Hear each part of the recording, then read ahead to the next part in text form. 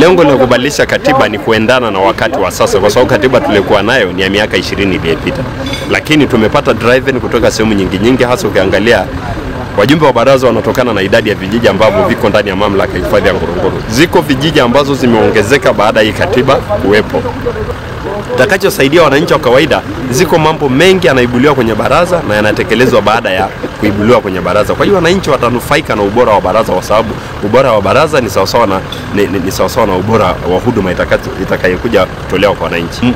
Wenye baraza ni wananchi wote wa tarafa ya Ngorongoro, lakini wajumbe ni wale wachache walioenda kuchaguliwa, lakini wanafanya kwa niaba ya wananchi wote. Kwa hiyo ni mali ya wananchi walioko ndani ya tarafa ya Ngorongoro. Tangu kuundwa kwa baraza hili mpaka tunavyozungumza sasa hivi tumesha tumeshawapeleka wanafunzi 4887 katika katika shule mbalimbali za sekondari. Tume, tumefanya kazi za kujenga shule, tumefanya kazi nyingi za kuwezesha huduma za kijamii kama kama kama kama ushirika, SACCOS, vitu vya namna ile.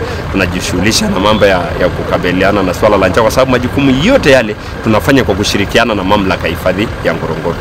Wito ambalo ninayo mimi ni ushirikiano na waomba wananchi, naomba wajumbe wa baraza na kuomba mamlaka ya hifadhi ya Ngorongoro kwamba wote tushirikiane kwa kipindi hiki ya kubadilisha katiba ili tuweze kuwa na katiba ambayo itakuwa, itakuwa na maslahi na, na katiba ambayo ina manufaa mazuri kwa ajili ya uhifadhi, kwa ajili ya wanyamapori na kwa ajili ya wananchi. Kwa hiyo nawashauri tu kwamba jueni, ndio maana wakati mnaandika, sijui mchakato kutoka hapo utaelekea wapi. Of course baadaye mimi nategemea kwamba mamlaka watawasaidia ikiwezekana katika kupata watu hata e, kwa sababu sasa hii kama inaenda inakuwa ni annex ya sheria huko mbele, inawezekana hata watu wa wanaotoka ofisi ya parliamentary draftsman e, wakawasaidia wale watu wanaojua kuandika hasa e, kwa hiyo yale mawazo yanachukuliwa yanaandikwa katika njia ambayo ni ya, ufasaha zaidi. Kwa hiyo usi usifikiri kwamba lazima iwe kila kitu, lakini hakikisheni kwamba mawazo yale yote yana yanakuwepo.